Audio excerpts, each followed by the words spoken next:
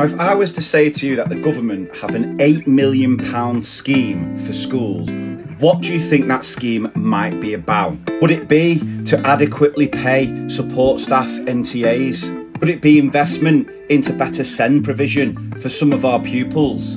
Could it be used in a way that actually reduces workload, which then impacts on improving teacher well-being? But much needed investment to solve the RAAC crisis in schools.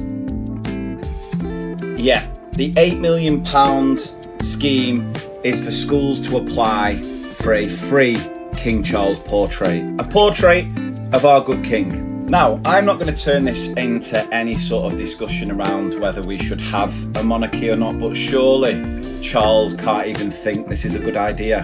Fact, a scheme like this has a budget of 8 million quid and it involves schools having to use time to actually apply to get one of these pictures. I mean, just go and download one off the internet and stick it in a frame. You know, if you've got friends in high places, you can get contracts like this.